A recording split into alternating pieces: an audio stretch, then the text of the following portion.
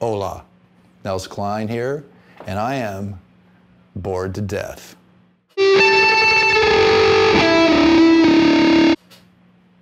Wait, that's not what I meant. What I meant was this is Board to Death. Earthquaker devices, colloquium, if you will, regarding pedals and pedal boards. And so I brought my New York pedal board. Well, not, I have three. This is the big one because we're talking about effects pedals. So why not bring tons of stuff?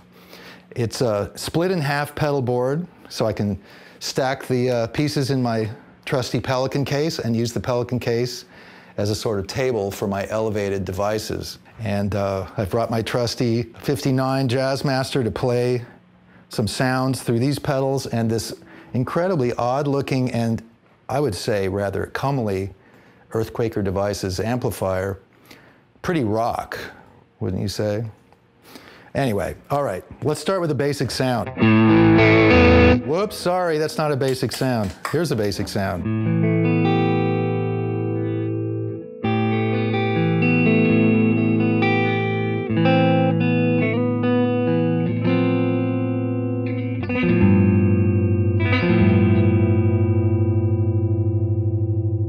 But wait, let's quick loop.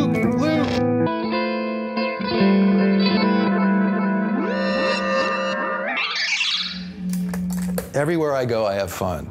So what do we have here? We have a tuner. But before the tuner, I put an Earthquaker Devices Arpanoid, which isn't on my board, but really it's not on my board because I lent it to this guy named Jack who never gave mine back, and I don't want to call him.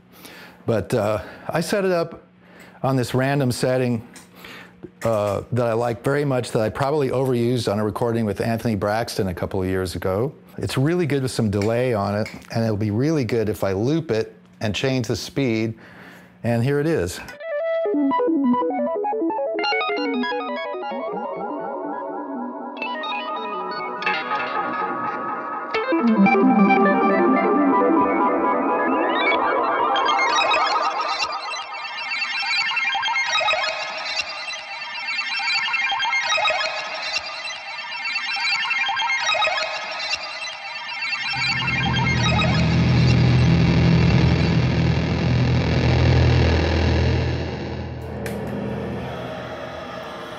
Was just some end of the world noise that, that I added with my Zvex Fuzz Factory with crazy custom paint and my vintage Digitech Whammy 1, which is still my favorite whammy pedal, not only because it's small and because it's red, but because it sounds great and it also has this one setting that all the other ones, well, maybe the 2 has it, I don't know, I never owned a Whammy 2.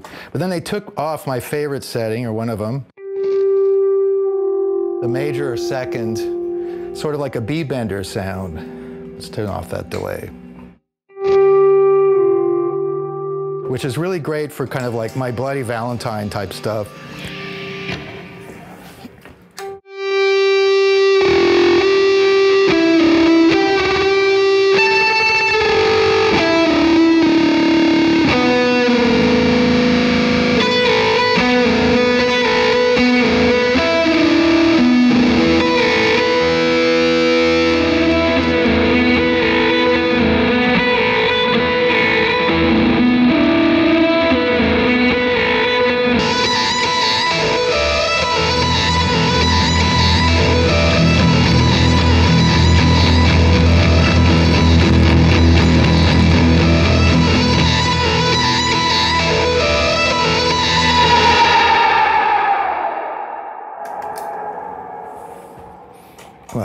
That's that.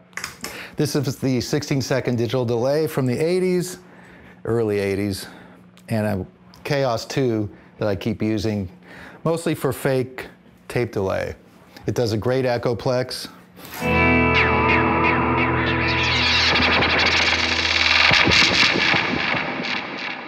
I used to own an Echoplex and use it all the time, so I know what I'm talking about. And then it's also got the Space Echo, the Roland Space Echo.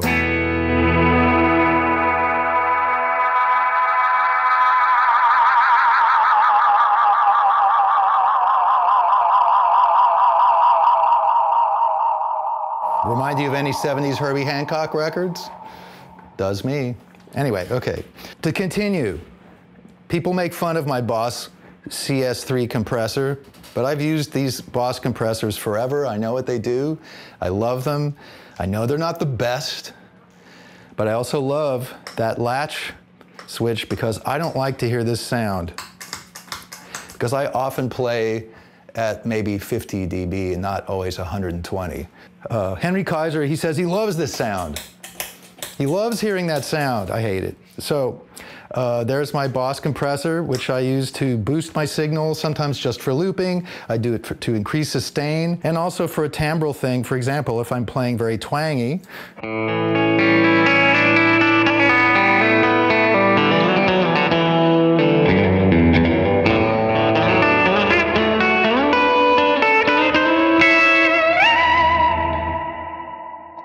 Forgot that I turned up so much reverb. Well, anyway, that was kind of good and uh, a Boss, whatever this thing is called, volume pedal, FV, 500, 500 FV.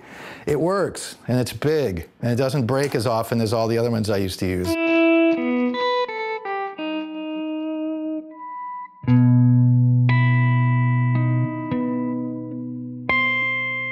And let's run that reverse because I like to do that all the time. And I'll take my whammy pedal and harmonize, maybe in fifths something to go along with that with a little compressor added.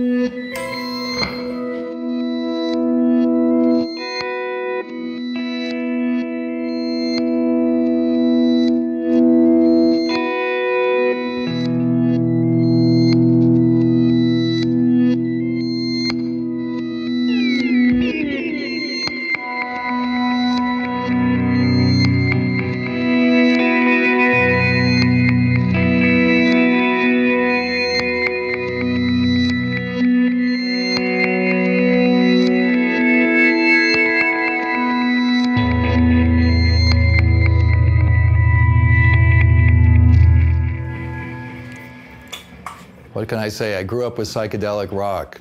I'm 62 years old. I was 13 in 1968. Well, anyway, to continue, overdrive, here it is. Uh, I'm known for using the Klon Centaur. I love it. I have three of them. I always use it with Wilco. I have no room for it. This is New York.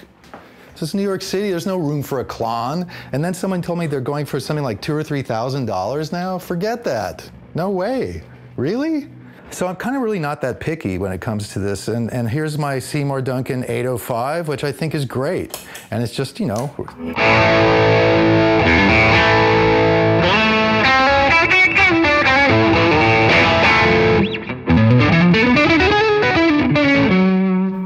I have to say, man, Seymour knows his stuff. His Duncan Antiquities, uh, which I've had to sometimes replace vintage Jazzmaster pickups. He knows what they're supposed to sound like. And he makes some good pedals. The pedals are super underrated. Somebody told me the 805 pedal is like a big pedal with metal guys. I find this surprising, but what the heck? Why not? It sounds great. Uh, love the old vintage Boss vibrato pedal. I use it all the time. It pretty much is on every board I own. And it can get wild, especially going maybe an octave up on the old whammy pedal and put some fuzz factory on it.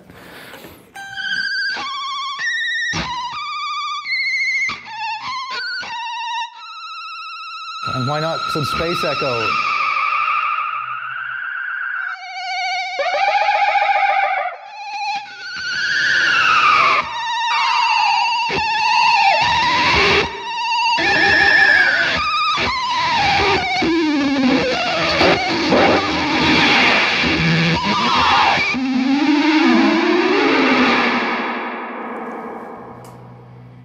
Sci-fi and really fun. But you can get these sort of really like slowed down. It's almost like a rotating speaker sound.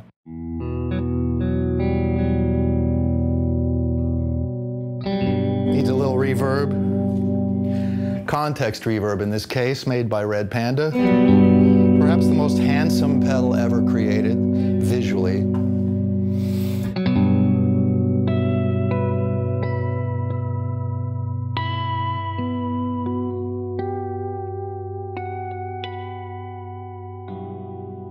Let's loop that. Let's put some compression on it so it's louder and loop it, a little delay.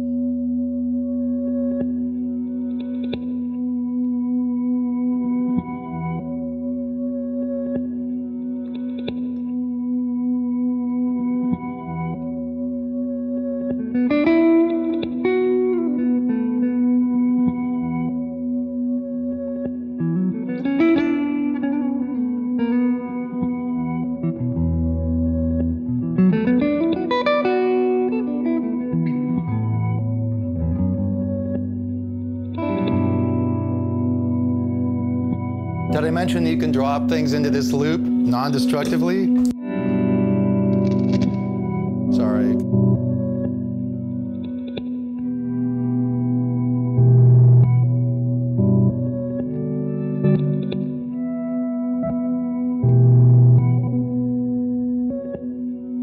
Change the octave.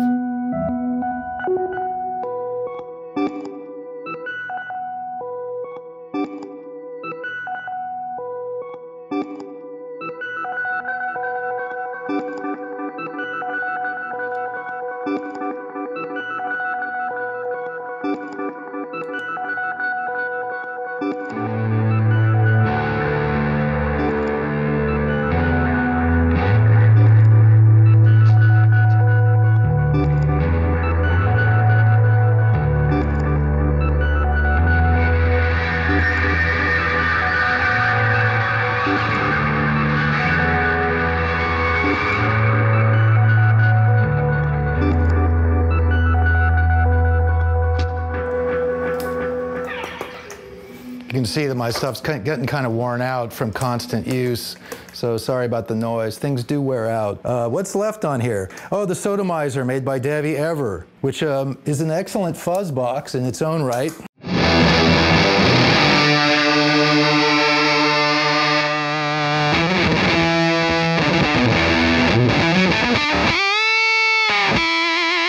Kind of an octave fuzz, I guess, but I love the Chaos switch. It's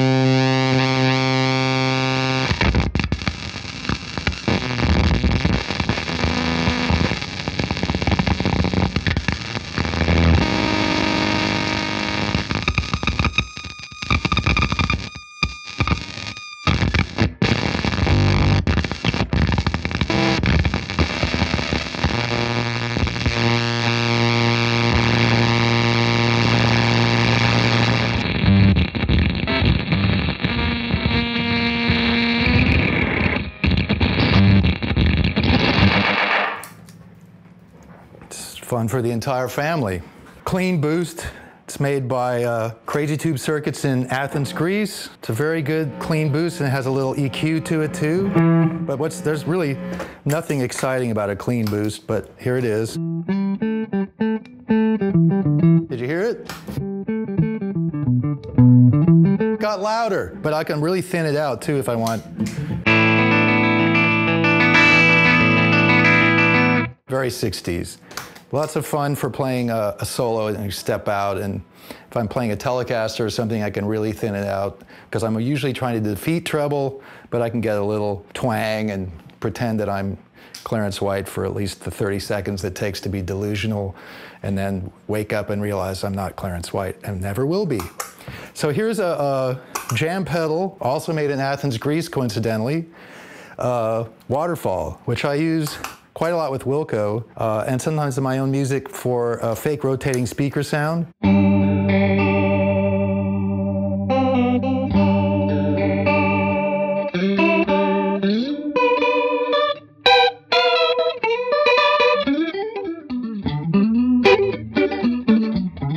But it has lots of other fun, wacky stuff. I gave one of these to John Medeski. He was really liked it. He uses it on Wurlitzer electric piano. That's his favorite sound.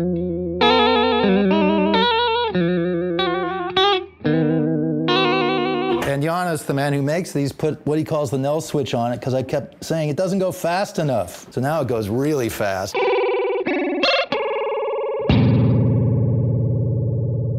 I deem this loop worthy.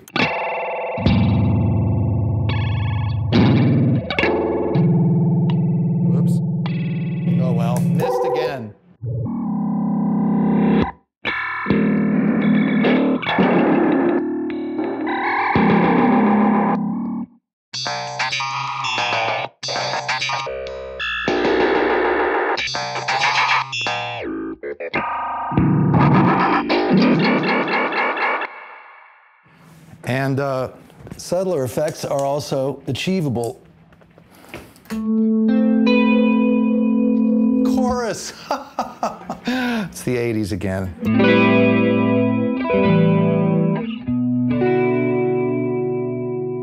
I never use that sound. So, Pulsar made by Electro-Harmonix. They just keep coming up with more and more cool stuff. But this is one of a uh, version of one of their oldest pedals, the Pulsar. It's every kind of decent sounding tremolo in one pedal. It's incredible. And they're in, completely affordable. Hey, let's combine that with some Arpanoid.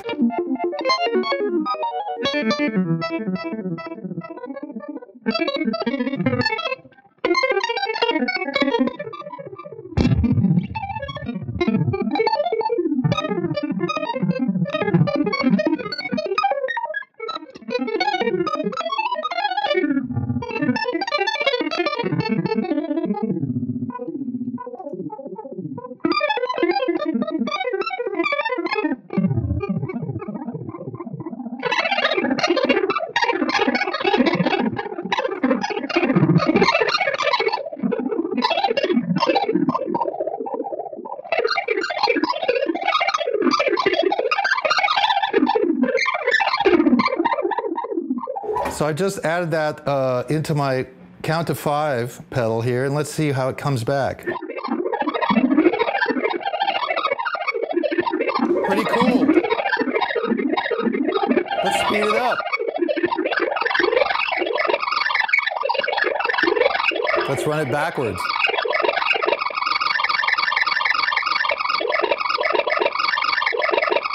Let's run that into the 16 second and then do something else with the count to five.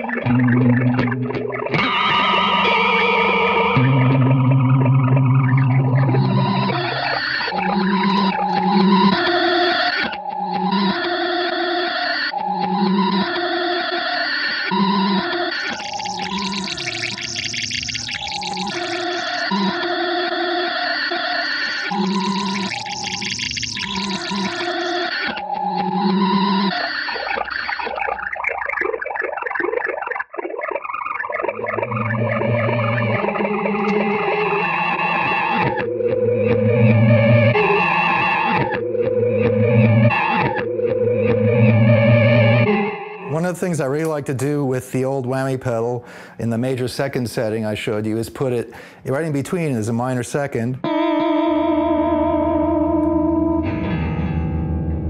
And uh, put the, the old rough edged bottleneck to the guitar. How about a little fast DD3, my reliable old boss DD3, which I haven't showed you yet, but now I am.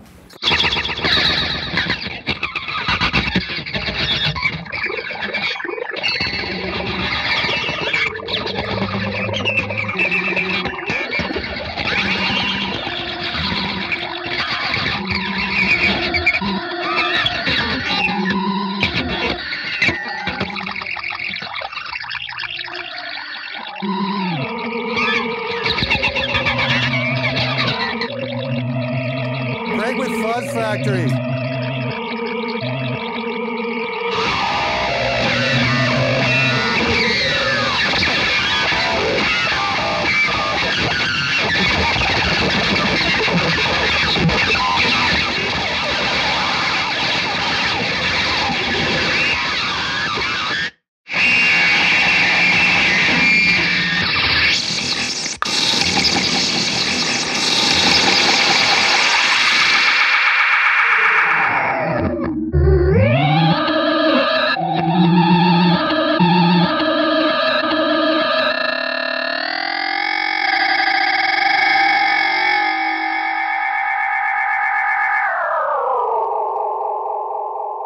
This count to five does some other fun stuff where you can actually layer what you're putting into it rather simply.